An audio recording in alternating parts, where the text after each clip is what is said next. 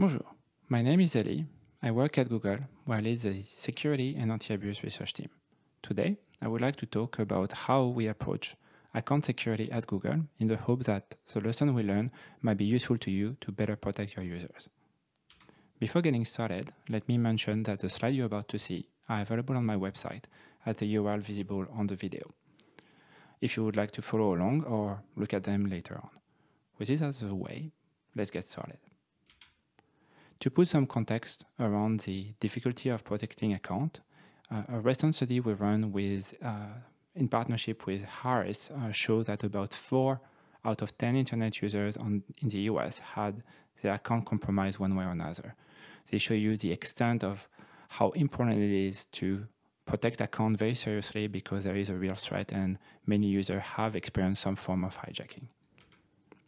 So if we are to protect accounts, the first question we need to ask ourselves is, how do hackers get in and how do they compromise account?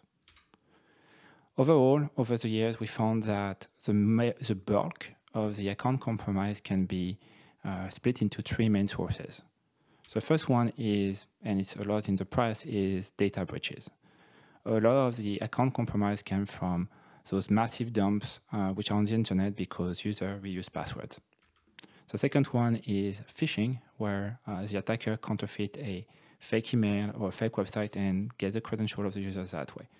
Last but not least, something which is on the rise in the last year or so with cookie theft is keyloggers, which are malware on the PC which store the cookies or the login and password of the user and send them to the attacker. Under the hood, there is a vast black market which is fueling the account compromise ecosystem, where hundreds of thousands or even millions of credentials are sold uh, by hackers to other hackers, from people who compromise website to people who install keylogger to the people who exploit account. Uh, those are different people. Some run scams uh, based using the compromised account, whereas others specialize into uh, those um, credential compromise harvesting, if I would say. And here are some examples of things you can buy on the black market from data breaches you can buy uh, routinely and the price have shows that a lot but also you have keyloggers that you can buy which are easy to install with undetectable version which are able to bypass AVs or at least that's the claim. And of course phishing kits which allow hackers to create very easily uh, web pages to collect a credential by pretending to be uh, online services such as Gmail although some of them, as you can see on the picture, are very bad imitations of the real login page, but they tend to work. So in 2016, we ran a study, uh, about a year-long study on to understand how big is each of those sources of credential. It's a, of course, a lower bound, and it's only what we could understand and find from those black bucket. But we do believe that at that point in time, the data breach market were by far the biggest one with 4.3 billion stolen credentials available. Uh, phishing were representing about 12 million accounts which were compromised that year, and keylogger were about 1 million. As I mentioned, as protection get, got better in the last four years, uh, the number of accounts stolen by keylogger have probably increased drastically, whereas phishing have decreased a little bit. So the way to think about those type of compromise is to put them on a scale where the y-axis is the volume, as we discussed, but also the risk is the other axis, which is on the x. And the risk means when you've been in a data breach, or when you've been phished, or if you've been a victim of a keylogger, how likely are you uh, to get compromised? And so when you're data breach, uh, some passwords are reused and some passwords are retested against other services, right? Because they have to blindly test them to see if there is password reuse. So the risk is a little bit lower than, let's say, keylogger, where your passwords are very often reused by the attacker. Phishing is somewhere in between, where some of your accounts have been reused across, when they phish have been attempted to other services, but a little bit less we think about than keylogger. And last but not least, on the extract extreme tips of the thing, and the scale is a little bit not uh, high tool enough, I would say. We have targeted attacker, which are very, very low volume because they only target journalists, dissidents, and people who are of interest of nations. And those, when compromised, are actively exploited. Although with the uh, massive uh, SolarWinds breach and others, of course, uh, the scale might be a little bit higher these days. So the takeaway about how account get compromised is under the hood, there is a large black market, which is actually making the exchange of credentials between criminals very fluid and uh, very active, which explains why there is so many compromise on the internet or why they pop everywhere. Uh, password reuse is by far the largest source of compromise because users tend to use the same password again and again. And when one website got compromised, there is this massive snowball effect of those, those accounts being reused elsewhere. Last but not least, phishing and keylogger do pose a significant risk. The volume is maybe a little bit lower or significantly lower than password reuse, but still, uh, those accounts, these are millions of accounts, and those accounts are stolen credentials are uh, very, very actively exploited. So now that we understand a little bit better where these credentials come from, the question becomes, how do we prevent account compromise? Well, if you look at the literature, or if you look on the internet, or you read article, there is a lot of technology uh, to actually increase security of account from stronger password to SMS verification to security keys to two-factor authentication to using a reset code to using secret questions to using a PIN code to using CAPTCHA to prevent uh, automation to using machine learning to do risk analysis and so forth. And many of those technology, you can use one or the other and they somewhat are competing. So there is a very mature set of technology we can use. The problem is, and that's a very important point, which is sometimes overlooked, is every time you increase security, it comes at the expense of additional user friction, whether you are increasing the odds of the user being locked out, or you increase the cost for the user, because let's say if you want them to have a security key, they have to buy one, which is not cheap, or you have to educate them about how to use a system. And that's one of the reasons why, for example, you would push against uh, non-standardized solution is everyone, if everyone roll out their own solution, then the user have to learn 20 authentication system, and it's not practical, as we will see later on. So all in all, account security is at its core, a very difficult and complex balance where we try to balance usability and security to build the best trade-off possible to protect accounts.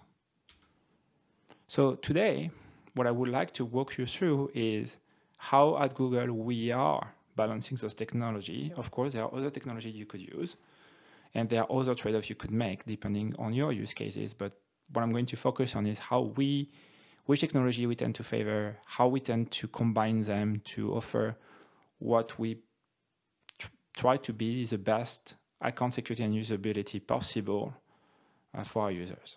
The way we're going to go about it is we're going to go through the whole kill chain from the account is the credential is stolen to the account is hijacked, and we're going to see how we layer on each of the technology with difference in depth, right? So the first step, as we mentioned, is somewhere, somehow, the credentials are compromised. Phishing, keylogger, password reuse. Here, what we try to do is have some technologies who are proactive and try to prevent user to get compromised, right? First step. Next, well, the credential is exfiltrated and now a stolen credential database is built and is about to be resolved. Here, what we can do is a sort of a race where we try to reset proactively the account credential if we're aware of them before the bad guy is exploiting them. Hopefully, after those two steps, we have reduced the exposure quite a bit. And then now, sadly, there is a remaining set of accounts which are compromised. And then here, we try at login time to perform risk analysis and try to reduce uh, the, the amount of account and the unauthorized login by the bad guys. And last but not least, some users are facing additional threat and uh, which are due to the fact that they're facing advanced attackers such as uh, state-sponsored attackers. And for those, we need kind of a different type of security where we're going to make a different trade-off. And then we'll touch upon our advanced protection program at the end of this talk. So First step, how we can try to prevent credential theft. Well, um, the idea is let's build very large scale AI systems that can detect and block threats at scale, right? We try to scale to the internet to prevent or block threats before they are reaching users.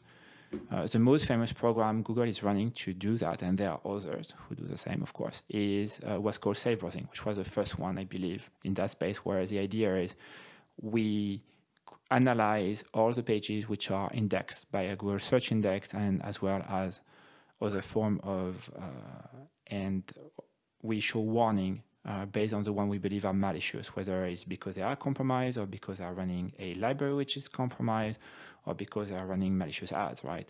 And so what we show uh, to the user is those famous red warning where we say, hey, be careful, there is danger ahead uh, from a malware or phishing, right? Here is an example of the safe browsing warning on a Android devices for phishing website. Uh, in, in both of, of, those cases, we rely on those very large-scale systems to try to deter user to enter a place where we know they might be harmed, uh, and we really focus on high precision to make sure that those warnings are really meaningful and there is a real risk around it. There is a lot of difficulty on how to build a UI, which is understandable for the users. Uh, I would have, uh, for those who are watching YouTube, a link down below to additional talks about uh, designing usable warning because it has been a, a very, very large effort uh, to make sure they are understandable. And there's a lot of nuances that might be taken into account if you are trying to show warning to your users. Uh, to give a sense of how big is the thing, uh, the Google Transparency Report says that we are showing tens of millions of warning every week to all the user and say, hey, please uh, don't go to that website, please don't get compromised. Uh, and as in as 2019, uh, when before this report was retired, uh, we were experiencing a very drastic shift from using malware to actually having more phishing websites, uh, as you can see on the graph. Uh, since then, as I said, keyloggers on the rise a little bit, but phishing sites remain very, very prevalent, specifically, specifically due to coronavirus and the COVID, right, where there was a lot of scam around uh, the pandemic. Similarly, for email, we have large-scale machine learning systems which are meant to detect phishing and malware. Overall, we do believe we stop about 100 million phishing email every day. And that gives you a sense of the volume of how much attempts there is against the account. And we believe that removing them do reduce significantly the exposure of our users.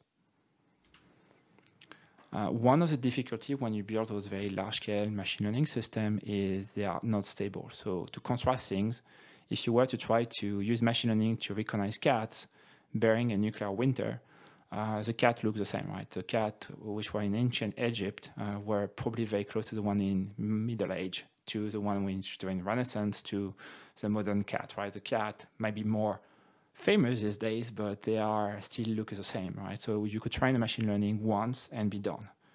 On the flip side of that, if we look at how phishing pages look like and how people are using different phishing pages uh, to try to fish our users, they've been evolving quite a bit. So they are a little bit outdated example, but you can see that from the early days to the new days, the design have evolved quite a bit.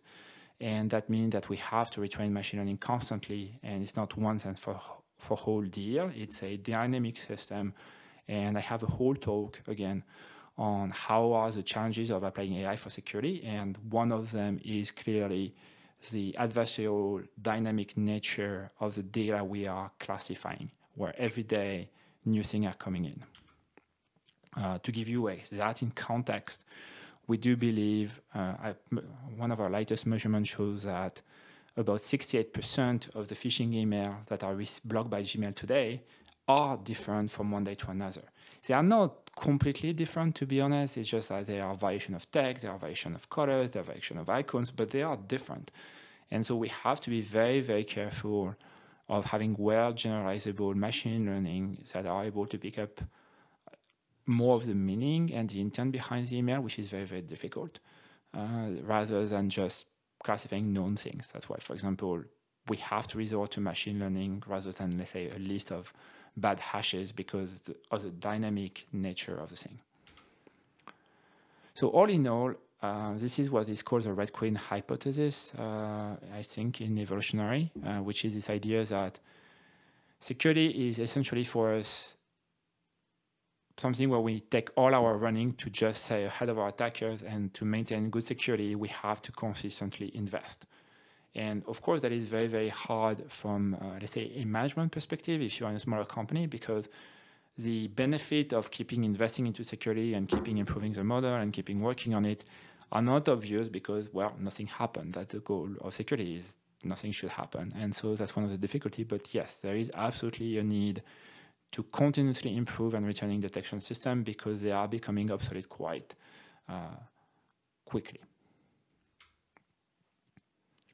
Now, there is a problem, which is there is a decision boundary in machine learning, right? So essentially, whether it's email or account, it's like pass, put it in the inbox or login, or not pass, been denied. Now, the problem is sometimes we don't know because the machine learning most often do not have enough context. For example, an email might be suspicious, but there is it's not a large scale company, maybe just an email to one person, and then the machine learning can't generalize and decide whether or not what to do. In that case, we have to deal with what we call a borderline case, where we think it's suspicious, but we do not have enough, or the machine learning do not have enough confidence to make a decision. In that case, um, our strategy is to provide as much context as we can to the user and let them make the final decision. Uh, that's not ideal because we need to get sure the user understands what we say, and that's very, very difficult, and I'll talk about that in a minute. But all in all, we found that it is the most effective strategy. So, for example, we spent a lot of time, I think, uh, two years ago to redo some of the banner you see on Gmail with more brighter, colorful uh, warning, which are literally embedded into the email to make sure that people pay attention to them. We say, hey, we think it might be phishing. We're not really sure uh, please pay extra attention to it. So here's an example of where we try to provide context and we have a help on the right side that you can see and we try to ask people whether they want to proceed or even tell Google that it's confirmed phishing. And every time, by the way, you report a confirmed phishing, it helps the machine learning to learn and it helps to protect everyone. So if you happen to have one of the phishing email into your inbox, the best thing you can do is reporting it to Google so we can actually learn from it. Okay. As I said, one of the challenges with this approach is the user needs to understand what you say. And that is very, very difficult because one of our latest surveys shows that 45% of internet users don't even know what phishing is. So we show them a warning, say, hey, you might get phished. The problem is we think at least a significant fraction of the internet user do not understand what we said and are not able to make the best decision for themselves. So there is clearly a need for education and keep telling people even the basic thing in a probably a different way so that they understand what they're getting themselves into and can better protect themselves. We really need to empower users uh, to make the best decision possible because ultimately in the difficult cases we have to rely on them because there is no easier or there is no clear other option. So the takeaway about how we can try to reduce the, the amount of stolen uh, compromise, not stolen, reduce the amount of stolen credential and reduce overall account compromise by being proactive and having those large scale systems is, well, prevention is indeed the first layer of defense. And those programs have been extremely successful uh, across all web browsers, whether it's Safari, Chrome, Edge, Firefox. They all have this warning system which we really believe make a huge difference in the world and have blocked and reduced quite a bit in the last 10 years a lot of the attack surface. Running those systems is very costly and require constant improvement because, of course, every time you block something, the attacker spend a lot of effort and time uh, to go back and be able to bypass it or try to bypass it. And so it's a constant cat and mouse game, and you have to be on point all the time, and there is no resting period, right? And then as I mentioned, all of this requires a user to understand the information we are giving to them. And I think that's where, in, where of the place where it's the hardest to do. And that's where usability and education comes in. And those are difficult. Uh, it's very, very difficult to design a good warning, and it's also today unclear how much people understand because they do they lack the context or the information to make the best decision. So we are fighting warning fatigue, and we are we are also dealing with users who are in need of education which that they might not even want to to learn about. So that's kind of like really the difficulty here. Okay, so the second section that we mentioned is well, the user got their account compromised. So what can we do now? Well, that happened a lot due to uh, mostly password breaches, right? So a website, either it's a disgruntled uh, intern, like in the LinkedIn case, or there is some account, some vulnerability into WordPress or any other CMS system, or there is an SQL injection inside the website, or this or that. At the end of the day, the database is leaked, and the password, which were hashed with older hash technologies like SHA-1 or even MD5, are cracked by the bad guy, and they come up with a massive list of login and password that they're going to try to resell to other hacker, which will try to use them on various services. We call that password washing. So they basically keep only the one which works, and then they resell them to the other hacker, which specialize into scamming people, or like money mule scheme, or like refund, or mugged in London scheme, and stuff like that. So the reason why this is so effective and so deadly to our user is because, again, according to the same uh, Harris uh, Google poll we, we did, 60% uh, of the users in the US, I'm sure in the internet overall it's almost the same, are reusing password across online services, right? They have one password and they reuse it, or they have you know, five versions of it. One is more secure than the other because there may, might be a one at the end or maybe one, two, three at the end or something like that. But at the end of the day, they have a limited amount of password, which are all heavily related. And bad guys know that and exploit that fact very actively. Um, in the same pool, we ask, okay, how do you come up with your password? Well, 33% use their pet name. 22% choose their own name, which which is like from the email you can guess it. Uh, some use their spouse partners, and some of them use their childhood name. And as you can see, when you have tested all of those things, which is basically common names and animal names, you have reached uh, almost a lot of the uh, password on the internet by those tactics. So cracking the hash is quite easy. So the one thing we can do as a community to really prevent that problem is to get user to use a password manager who will ensure they have one password for each website, which is distinct, and hopefully they will generate it so it will be also hard to crack. Yes, that is also creating another whole set of usability problem because people need to know what a password manager is, and we are creating a single point of failure, which is if you lose your master password, you lose all your passwords. So that's a big problem too. However, it's a trade-off again, and is it a trade-off well made? At least there seems to be a consensus in the industry, in the community, that what that's what we should do, and I do believe personally also that is the right way to go. The thing is, how far are we from having people using it? Well, uh, again, uh, only 15% of the US internet users are using it.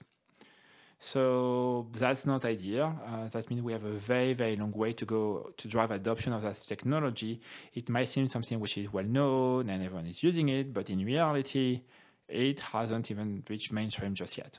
That is as surprising as it is, but about a year ago, before the pandemic, when we ran the survey, it was very clear that people were not in the habit of using uh, a password manager. That's why having them directly built in into the web browser is a good way to drive adoption and keep furthering the ideas that you need to let the browser handle your credential for you, which would go back when we talk about security, which is even another layer of where you should let your hardware prove who you are rather than you doing it because there is less room for errors and it make it more secure. Similarly, uh, on the flip side of that, some people do use a password manager, as they told us. Well, they use a piece of paper. So is it's also again a single piece of uh, point of failure. So replacing a piece of paper with a password manager, I would argue, is better. uh, because at least you can have a copy, a cold storage of it, or maybe there is a recovery mechanism built in and so forth. So I think it would be better an upgrade from the piece of paper to the password manager. So yes, password manager do create a uh, single point of failure. However, user when they use a piece of paper and like that already have one that they might not be even aware of or haven't thought of the idea that they might lose it and then they might have a huge problem with it. So until password manager are used everywhere, uh, there is a need uh, to try to add ad additional technology. We're back to combining technology, right? Um, to try to mitigate password reuse risk. And that's one of the things that our team has been working on for about five years. Um, and so it all started, at least for me, uh, I'm not sure that's the exact date, but this whole journey on what can we do about password reuse started for us a little bit before 2014. But in 2014, uh, here's a screenshot that emerged on the Bitcoin forum, uh, which said, hey, here's a list of tens of thousands, or I think hundreds of thousands of Gmail accounts with their password. Um, and that that bleed down to Reddit and that bleed down everywhere. Uh, people are anxious about those things, which is normal. And so we start to get a lot of inquiry at Google about, well, are you are you guys compromised? Is this leak real? What what is happening, right? Password leak and password reuse were not like that mainstream at the time, and so people were like already going into the place of Google is compromised. Oh my god, the world, oh my god, what can we do, and so forth, right? And so we've been looking at those passwords for them for a while internally, and we made a decision uh, in September that so a few days after this leak coming and to actually come on the record that yes, we are aware of it and yes, we are looking after it. And actually, we do uh, password. We have a password reset program, which is something I helped kickstart a, a, while back, a few, I think a year or a year and a half before. Uh, we went on record and talk about it. But yes, we said yes, we are aware of it. And actually, you know, uh, one of the things we do is resetting your account when you there is a password that we are aware of. And the reaction was extremely positive, and we got a lot of users say, "Well, that's great. You should do that. Thank you for looking after us."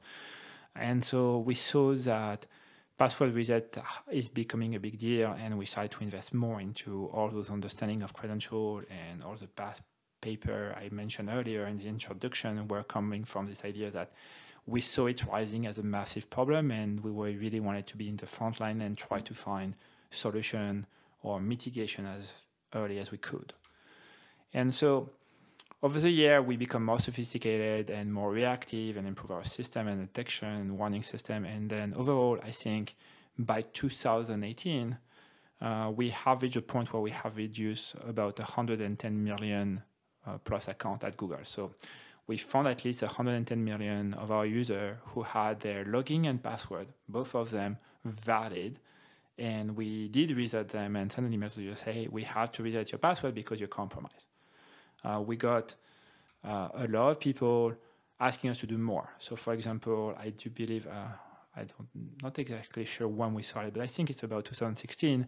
Uh, we started to do it for enterprise consumer G Suite. Uh, out of requirement from them, they were very say, well, you, I, I, see that for my personal account. Can we get that for uh, work Google for Work account? And we say, sure, we can do that. And so the program naturally expanded from users, Google users, to Google users and Google for Work users. And then we said, okay, but then how about we try to do it for everyone on every web services? We got a lot of requests from other company. Um, for example, I did a lot, I got a lot of them at conferences say, hey, you have this program, we heard about it. Are you willing to share credential? Can we do that? And of course, you can't really share a stolen credential with other companies. So there are a lot of complexity, but the idea is that together as a community, we can reset those accounts and in a way devaluate the black market was uh, something we really wanted to do. So we go back because we're researching to the drawing board and we're like, okay, what would be a acceptable system that people would love and would use uh, that will warm them when there's a data breach. So the first thing we needed is it has to be accurate and actionable, which means and as based on our experience, we do not reset password when there is a username in the data breach because we don't know if the password is correct. We do reset if and only if the username and the password are the same. right? Because your username, your email might be there by mistake. Someone might have created an account on, on your behalf. You don't even know that because you have a common email. Uh, so we want it accurate and actionable. So that's like username and password, which of course posed a lot of problem because you can't really share a password. So it also has to be automated. As I mentioned, user understanding of the security posture they are in is at best flaky. And so we want to make sure we don't put more decision and more burden on them also for usability reason. If we can automate all everything, why, why would you bother the user with some of the decision when it's, if it just protects you, then, you know, we should do that. And last but not least, as I said, because you want to be actionable and you want to be automated, you have to find a way to make it in a way which is privacy preserving. And I think that is the, the thing we really brought to the table is this understanding of how to combine those things um, and making sure the password reset system we will build will actually fit those triangle. And there is a non-trivial solution to get there, which is uh, using a private set intersection, which is essentially a cryptographic way for you to query a database without revealing what you are querying for. So you can say, hey, here is a login and a password. And then you encrypt them with a private set intersection and you query the database we have. And again, we cannot ship the database to the user because remember, it's like five, six billion credentials, that terabyte of data. Uh, and we also don't, so we, we had to find a way for the user to compute a very fancy hash. Again, everything is hash, there is no password in clear on our side. And the user is computing these privacy preserving hashes, so we learn nothing about them. We compare them to the database, and then uh, all you can get out of this query is yes, it's in the database, no, it's not in the database, and that Google learned nothing about it. And I think that is a crux of the comfort of the user to accept this as a system is like you can check, but then you do not reveal anything. And I think that was really the contract we needed for our users, which is why, for example, we did the extra step of working with academia, have our protocol being peer reviewed. Uh, I put a link into the, the slides, uh, which is peer reviewed and actually won best paper award at USENIX Security on how the protocol exactly works so people can look at it and say, yes, I do believe this is true and the claim are correct. And yes, we have experts who have independently vetted that what we do is the right way.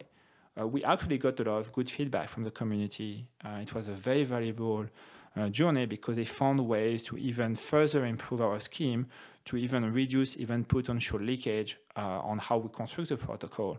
So we really got a lot of value, and our user by return got a lot of value of this openness on how to design this system. Uh, which is correct, currently known as password checkup.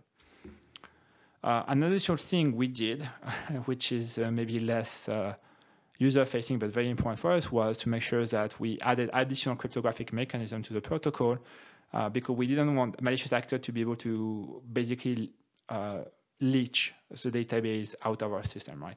As we were collecting all the data breaches and doing a huge effort into you know, like streamlining them. Uh, we certainly didn't want uh, to be like a fast download point for people. So there's a lot of um, slow hashes we do, and every time you query it, actually is very expensive. So we actually make it really, really hard to use the thing. You have to know what you query for, and then when you query, it's very slow. Now, again, trade-off. If you do that on a mobile, that's harder because the mobile doesn't have as much compute power as a PC. So how you balance the security of the system with the ability for the user to run it and not like killing the battery is also an interesting uh, challenges, which is all detailed into the paper or the blog post we wrote about it. Okay, and so we do that and we keep iterating it and we have this extension uh, that we launch. I don't have a screenshot here, but basically we launch this is an experimental thing called password checkup extension. And we tell the user, look, it's experimental, would you like to have it? And the most amazing thing happened. Everyone in the press love it. And a lot of people say, yes, you should install it. That's great. We really love it. I tested it. I found my compromised password is really useful. You should recommend that to people. And in a matter of a month, for something we barely advertise, short of showing it to the press and writing it about it, uh, had 1 million users. So we got from zero to a million users uh, for our extension, which was a prototype on like would people like it? Well, we didn't want it to build it as a built-in product because we were concerned or we didn't know what to expect. We didn't know if user would like it, would it make sense? And so we had this overwhelming positive response. Uh, I never had any positive response about the research we do ever to that scale, and it was fantastic to see. And then the team internally were very, very excited to help us and take it from research to a full product, which would become Password Checkup. And then Password Checkup was taken taken by the product team, the, which is in charge of Google accounts, uh, you know, systems, and they were building it into uh, the account system, and that become Password Checkup, which is built in. And we did release it to as a uh, as a way to check up your account on the Google system as a Google uh, online services first, and then we'll allow people to uh, to do that. And we started to display warning, uh, as you can see here on the screenshot, uh, when people were entering a certain credential, say, "Hey, you enter a credit, certain credential." Maybe you would like uh, to check your password, right? So that was the first warning we did. And this was only for people using the Google Password Manager because we wanted to uh, slowly roll it out. And again, there is a lot of complexity to roll out a peer, a private intersection set system at scale. It's very, very expensive, and we wanted to make sure, so we did that. And a lot of people really loved it. Um, uh, recently, uh, during an interview, Sundar said that the latest statistics are that we have about 100 million people who actually went to password checkup, and then we have helped reduce 30% uh, usage of leaked credentials thanks to it. So you can see the vast, massive amount of reduction we got. And since then, um, the password checkup technology have reached even broader adoptions uh, as it actually reached out Android. And now, uh, I think very, very recently, in the last few months, um, when you are entering a insecure password, logging and password into using the form filling system in Android, we will show you a password, say, hey, you have uh, entered an insecure password, uh, login and password, please change your password, check your password, use password checkup and change it so it's reaching Android. And so we hope to reach more people and help them uh, being aware that some of their credentials are stolen and hopefully get them to, as we saw, to change them to a more secure password. Uh, one of the benefits of password checkup is this is a moment where people pay attention, so we can tell them and try to tell them a little bit more about password complexity and say, hey, you should not use something guessable and things like that. Still have work to do better on that space, but I think we it's a huge step forward.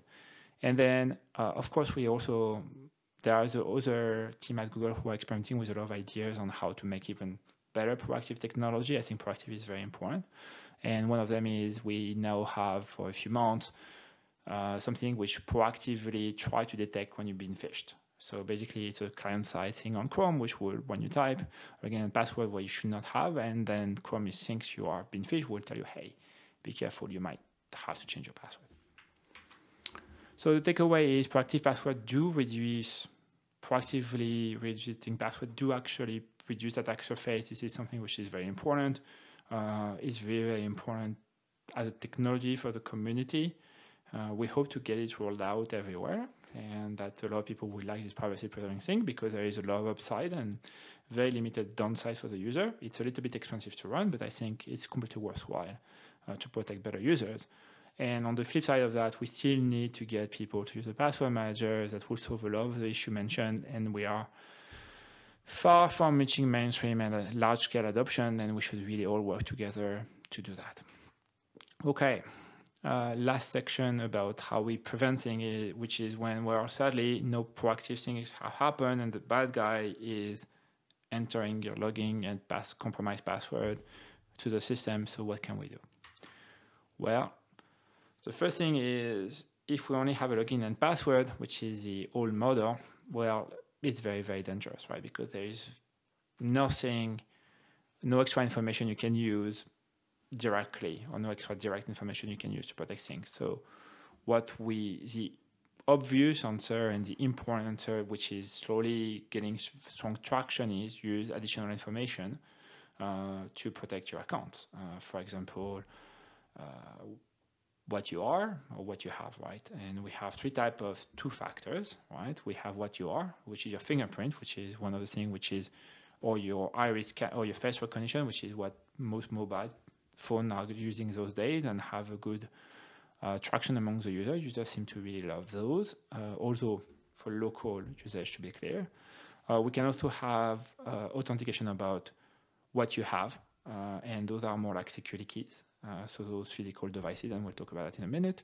And then what you know is your password, right? So ideally, you would like what you know, which is your password, plus one of those, which is what you are, what you have.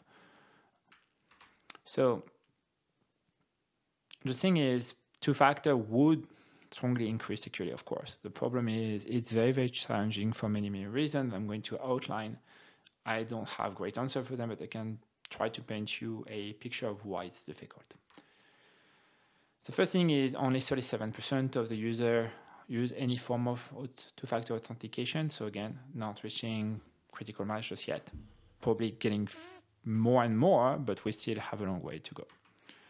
Um, I ran a study, I think two years ago, where I looked at how many uh, websites do support two factors, and we barely have 50% of the website who do support 2, 2FA.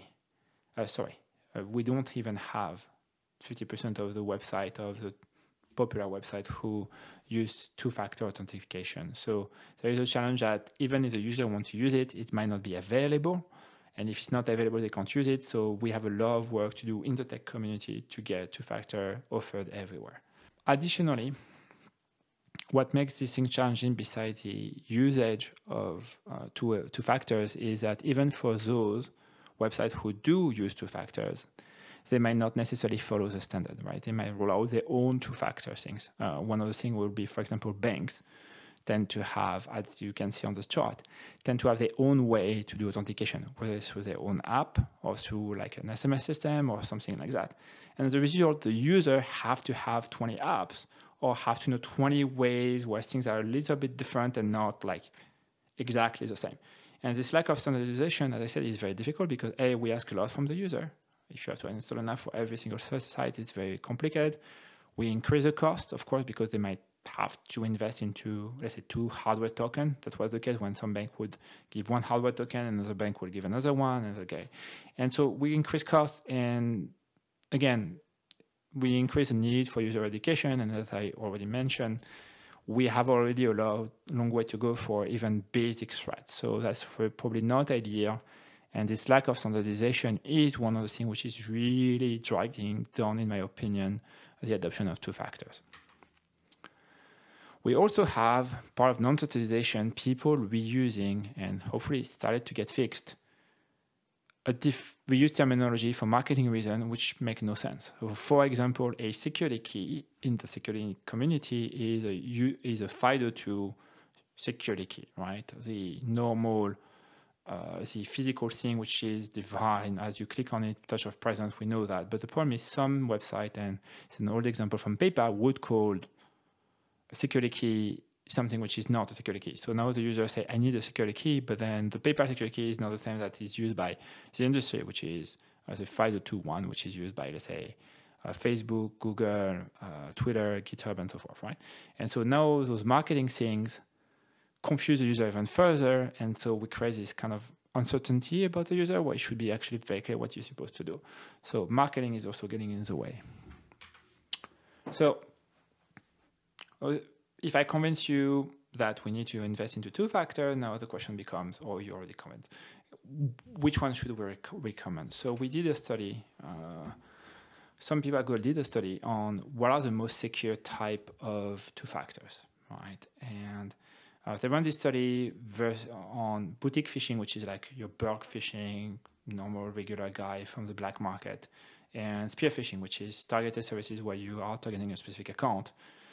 And all in all, the most secure and only thing which have resisted every attempt is a security key. So we do believe security key is by far the most secure one, SMS verification being okay for bulk, phishing, but clearly not good enough for spear phishing. So all in all, having those security key, which are really good because they are doing all the authentication for you, and this is a hardware device, and so you click on it and it just do everything, and it's almost unphishable, is probably the way to go. And we should build this. And with uh, the security key, is a technology that Google is heavily among other people in the industry like Microsoft and other big players are heavily invested in because we believe that's the right solution, right? And the idea is you can have a physical key which you plug into your device and you click on it, or there is also this thing called phone as a security key, where your phone, you can click on it and then it chooses the secure element of your phone to act as a security key and you just approve uh, through your phone, right? And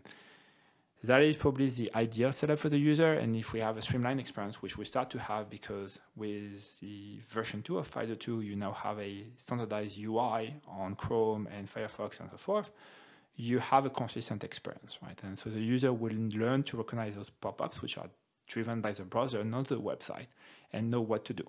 So as we invest into that technology, the more we invest into it, the more it decreases the cost of owning a key and also increase the awareness of it so the user are more familiar with the technology and it's easier for them. So it's really, really important we, we go in all as a community into one direction. So again, because we're researching, we will ask ourselves, okay, how do we help with this big issue? What can we do? And so our answer to that we started a few years ago and is uh, slowly getting ready for production is called OpenSK which is a security key firmware, which is written in Rust. And the design principle behind OpenSK was to have something which is open source, has no patent, no NDA, so it can be affordable. So it's an open source, it's on GitHub, everyone can use it, every manufacturer can use it to build their own key.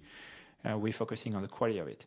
We wanted to have it secure by design, so we spend a lot of time and consideration about which OS we want. We use Tock OS, which has a really good security posture and is written in Rust. It's a embedded OS, uh, which again, if you, if you haven't heard of it, is really, really good for IO, IoT and tries to solve this idea of having a secure IoT, uh, embedded, sorry, a secure embedded OS. Uh, very, very promising and we we like it a lot. We build on that, we build on Rust, and we built the firmware using those. And then we were also we are building a lot of toolings and a lot of um, tests around how to make it research friendly. So if you want to innovate in the space, we you have a place, you have a reference platform where you can test new ideas, test new algorithms, test new features, run experiments you would like, and make it friendly because we want to fuel innovation in the space of security because we believe there is a lot which can be done. So the initial version of OpenSK that you can do today uh, if you want to build your own, uh, is you can buy a Nordic $5 uh, key, as you can see here, which run on a TockOS, and you you will you can flash it. Right? We have instruction on the website. You plug it, you flash it, and then we even made a 3D case that you can 3D print and you can build your own. Right? And that what a lot of people did uh, when we released it. Uh, here's a picture of one of our uh, users who say, "Wow, really cool! I, I, I do it, and then I, I build my own 3D keys, and so you can see them here, and people were really excited to, to build their own key. Uh, the downside of that is, of course, the key is not locked, so it's not really for production because, again, the key can be trivially flashed um, and so forth. So that's probably not what you want for production and not for end users just yet, but people were really excited. Um, and then this year, we reached a really, really important milestone for us, which is Feitian, which is one of the manufacturers, decided uh, to create a key. Uh, we did help them and we did provide some technical assistance, but that's really them driving the idea of building a key. And for the first time, uh, although the key again is not ready for production because it was not a lockdown version they produced, we had a key who was FIDO2 compliant, FIDO2 working. It was not compliant at the time, but FIDO2 working for 9.99. Before us, uh, the, the, cheapest key I could find was about $20. So we were able, by providing free software, to drive down the cost to a key which has a metal enclosing. I have one at home. It looks really nice. I mean, it's not you know super high quality, but it's really nice, sturdy, and so forth. Uh, we were able to drive adoption by manufacturer, at least one for now, uh, of uh, the firmware and get result on making affordable key. So 999 is a great milestone. I hope one day we get to 499. I don't know if it's possible. I don't know what is a bill of material would have to look like for that, but we are on the right track, and it was very exciting to see that. Uh, since then, uh, we got our key to be certified FIDO2. So OpenSK is now when you build one, uh, a FIDO2 certified key. We again took the cost of certifying the key and the firmware ourselves. So then when people manufacture them, they can manufacture them cheaper because they don't have to give to the user, to pass on to the user the price of the certification because it's already given to them for free. So again, this is the idea that we want to be standard, standard of course, but we don't want, we want to reduce the cost of standardized keys to the minimal uh, for the for the end user, so we don't pass the cost to manufacturer. Uh, what we try to do for security key would be a few things. One is try to do a FIDO 2.1 certification. So FIDO 2.1 is coming in. Uh, it's a new revision with a few additions. OpenSK already support most of it if you pull it from GitHub. Uh, support all of it, I, I would say. Also, the spec is not final. There might be minor change. Uh, and so we on track to be the first 2.1 certified, which is the idea that we want to be the bleeding edge platform and always being the most up to date. Uh, we have a lot of ideas and we're developing a lot of new features outside of the spec to try to push even further and develop them, test them, and then bring back them back to committee and discuss whether they make sense for the, for the spec. If you have ideas or if you're interested in the space, uh, talk to us about how to, you can experiment with uh, the security keys. Uh, we got already a few universities doing it with us. It's very exciting. And finally, um, at some point, we wish to talk with, find a way to partner better with industry even further to actually develop affordable, high quality security keys that people can buy for very, very cheap all around the world. And again, uh, the goal is really to drive adoption by having a good reference platform that is that can be customized, right? I mean, if people want to do fancy key with it, uh, of course they should, uh, or an affordable one. Uh, we are going at least for us, we are trying to make it as affordable for anyone to build upon it. All right, so if you want more information about OpenSK, as I mentioned, it's all open source, it's on GitHub. Uh, here's the link. Uh, all right, so the takeaway is that passwords are not enough. Uh, password we use uh, and phishing attacks makes credential just raw password and login not enough, so we need to do something else. And a strong two-factor, which is a security key, is the way to go. And because not all the two-factor are created equal, we really should zero in into using security keys. And we have a long way, long way to go. And there's, a, there's an effort as a community to, really try to educate people about the importance of two factors and how to select a good one. Uh, so we reach universal adoption like HTTPS, which is now I would believe the most mainstream technology for security we, we have deployed, right? And it took a lot of revision and certificate transparency and stuff like this to really get there. But I think that the next big adoption technology is 2FA. All right, very briefly, because the talk is already very long, uh, let's talk about advanced protection, which is something that Google pioneered a few years back, and we hope other companies take ideas from and can build their own, is sometime uh, in general, I would say, let's start with that. In general, large-scale attacks don't care which account they compromise, right? For all the things I discussed so far, uh, people are interested in bulk compromise, right? Whether you scam John Doe or Jane Doe, it doesn't matter for the scammers. They just want to extract money by running, I don't know, like a phishing scam or like a money mule scam or whatever that is. However, we have some users who are targeted by state sponsors. We have people like journalists, we have people who are working with political organizations or dissidents who are at risk of a targeted attack where a state, nation state or a very powerful organization is going after them because they are high value target. And in that case, the attacker do not care about all the account, they only care about a specific account, but they would go to extreme lengths to get it. So those type of accounts uh, are very obvious, I would say, from journalists and activists to politician and campaign team to executive and fintech users. For, for example, people who do a lot of Bitcoin or Ethereum are routinely very highly targeted by bad guys because if they get their hand on the wallet, they can steal all the cryptocurrency and then, you know, it's a heist, right? And then it's unrefuted, um, irreversible. So when you have stolen Bitcoin, you can't even reverse it, which is make it for criminal way more appealing than even bank accounts uh, access. And of course, celebrity because uh, people think they can monetize their photo or think they can steal from their account, right? So those are basically the user who are in need of something stronger, right? And that might be willing to increase their friction, right? So some of the threats we are concerned when we talk about those users are spear phishing, like very, very highly well-defined email who are targeted only for them and are really, really hard to spot. And again, machine learning might not catch them that easily because they are used one time or a few times. Uh, malicious auth app having apps on the phone which are specifically crafted for them to literally get access to their phone and do very specific actions. And of course, uh, account recovery attack where the attacker have way more knowledge about the victim, so it's harder to verify. It's easier for them because they have more in context to break through account recovery. So for example, uh, here's an example of a targeted attack where, well, uh, you can uh, get, uh, you can phish people who use SMS, right? SMS is not enough for those people because you can do real-time phishing uh, of the SMS code. It is more technically difficult, but it's doable. And of course, Uh, you have to be more reactive, but we are talking people who are really motivated here. So as I mentioned earlier, security and usability is a trade-off. And here, the thing is we probably want to increase security even though it's more painful for the user. A lot of the users with which we have proposed that solution or have come to us for asking for that solution are willing to make those trade-offs of we're going to make it harder for you a little bit, but then at the expense, and then you have greater security. So what do we do?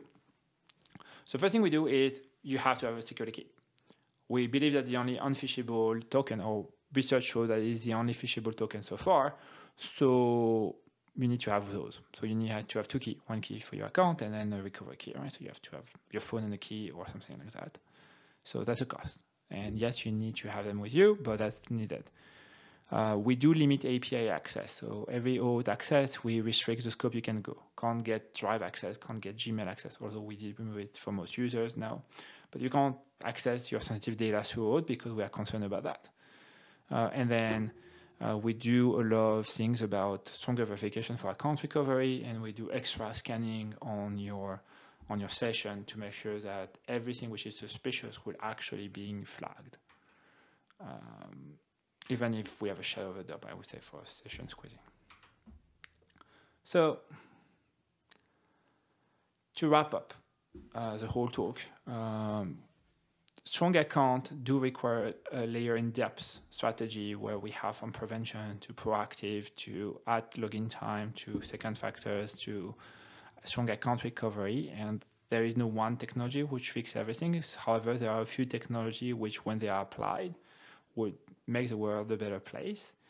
Uh, as a community and as professional, we have to keep constantly keep up with adversary because they keep finding innovative ways or in, to bypass or entice user to give them their account.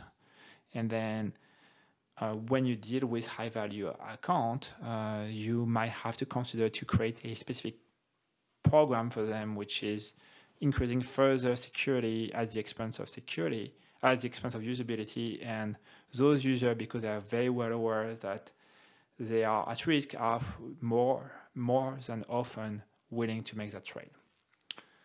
All right, um, that I think uh, concludes the talk. Thank you so much for listening, uh, and thank you for having me today.